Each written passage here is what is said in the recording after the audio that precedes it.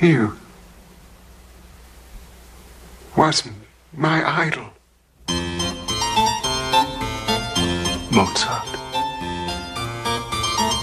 I can't think of a time when I didn't know his name.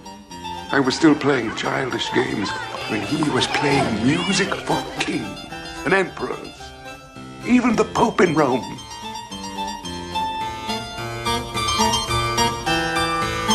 I admit I was jealous when I heard the tales they told about him. Not of the brilliant little prodigy, but of his father, who had taught him everything. I gave my first concert when I was your age. And I was terrible.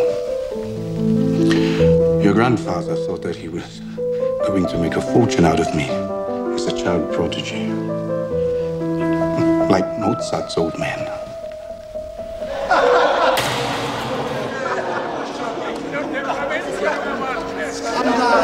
But I was pig-headed. I wouldn't play that tinkly, pretty stuff that was in vogue then. But the keyboards of the day were not up to it. The first time I played at court, I broke four strings. Oh, Beethoven! The boy is hardly a Mozart, is he?